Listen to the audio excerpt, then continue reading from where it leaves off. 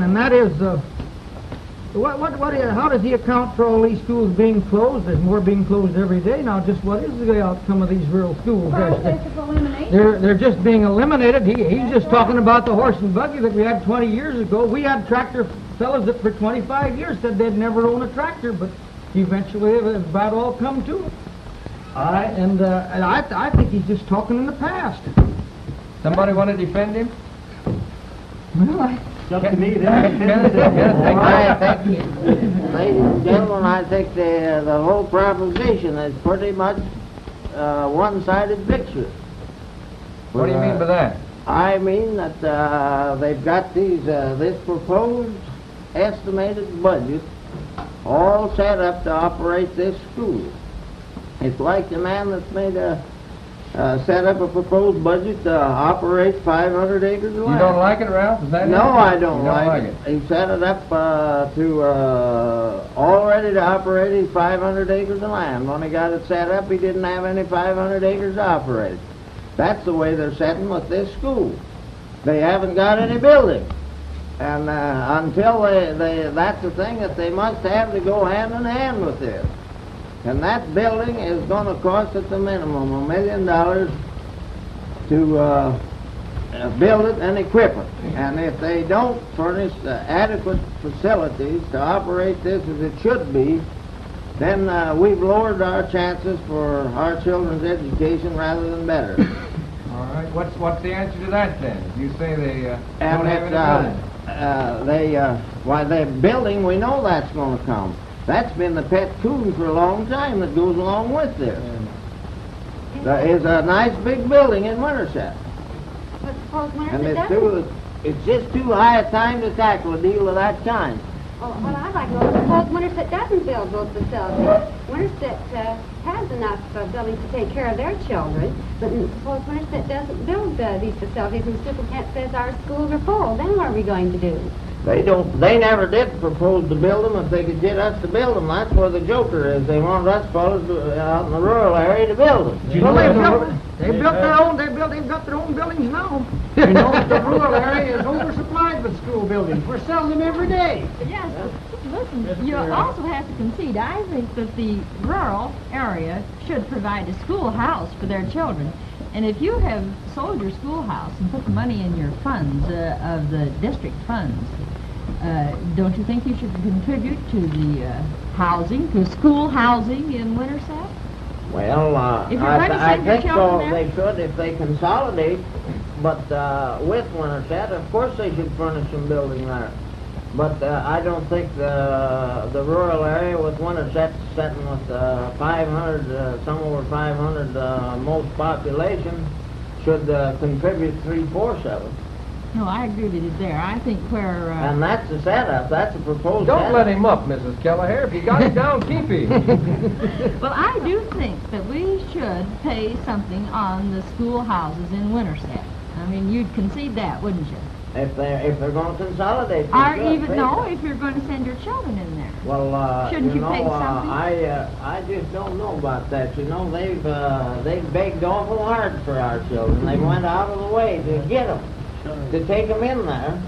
And we're uh, paying them the price they ask. We don't set the price. They beg for them to get them in there till they've got been loaded to the capacity.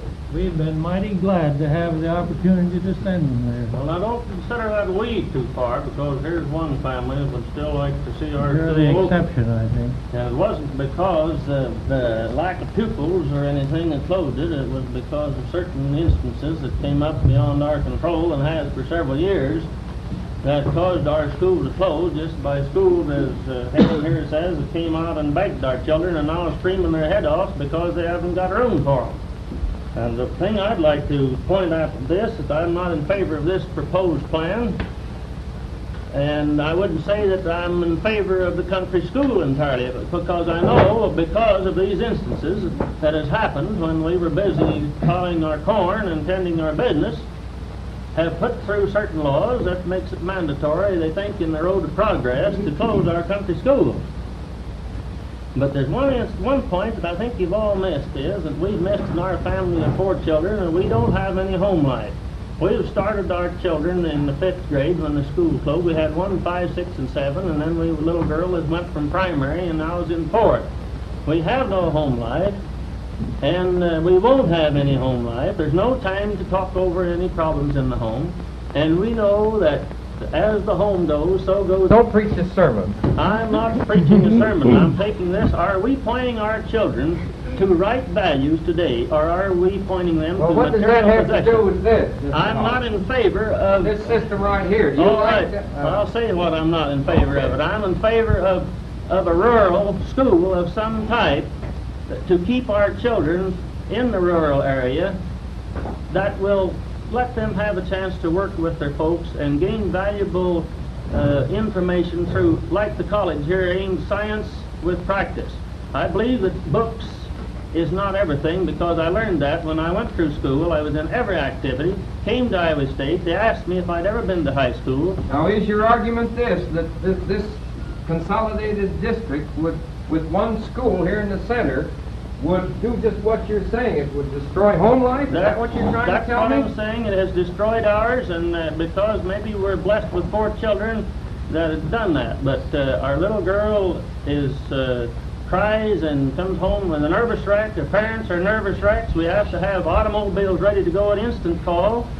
Well, now, It's quite a deal, and if they go and put this school in Winterset, where it's going to be, if we don't say what we're going to say, well, are you all it's that going to be a town school run for town children, and when the roads are bad, the children will stay at home and make up their work when they can get there. Isn't it these inequalities between uh, the tax, the millage, that's uh, between seven and thirty-five mills, and the opportunity of children in the rural school, as, as uh, Kenneth said and uh, Mrs. Berry?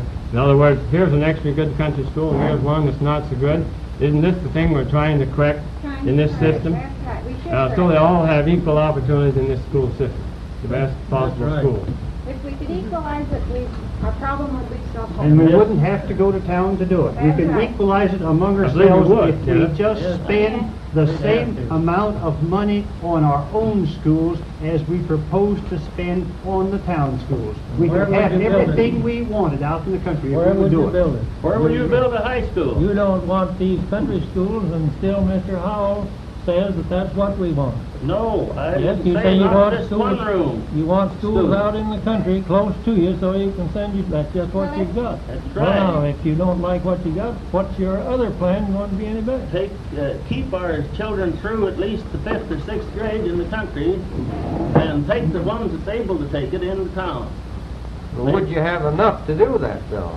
I don't know why not. We're Winterset's 11 got too miles many. out. I believe you would. We're, we're 11 miles You- out, and I, there are a lot of small children out there. I You think do that would away our with this solution. extreme transportation hazard, in which upon the highways, there's more people been killed since eighteen ninety-eight than there has in all the wars that America has fought in. Well, That's Aaron, what you- we've been, we've been closing these country schools with eighth grades, Kendall. How could we keep them open if we cut it down to five? We, we've been closing them because we haven't had enough pupils to keep them Because open you with eighth would, grade. you would centralize your schools, your country schools, and, and bring them into a central school. Yeah, but you've You been mean talking you'd make a about larger school transportation. district? You've been talking about transportation. That That's the would big ruin- problem. That If you would go to ruin your that, home life. You're going, Okay. you're going to have more transportation than if you transport them all into You're- a central district. you're- I'm, I'm gonna agree with both you fellows. You can't do it, you can't do To some- it. To some extent, I can. Can't straddle this fence. No. Uh, this district, as proposed, it might be right, it might be wrong, I don't know. But, all we have to do is look at the record of the past, and we know that we're coming to some sort of thing like this. We know that the, the one-room schoolhouses are out. They've been going out for the past twenty years. We don't have half the number that we had twenty years ago. Uh, I can set my clock by the bus that comes to our place. We can, sure It's that, it's that punctual.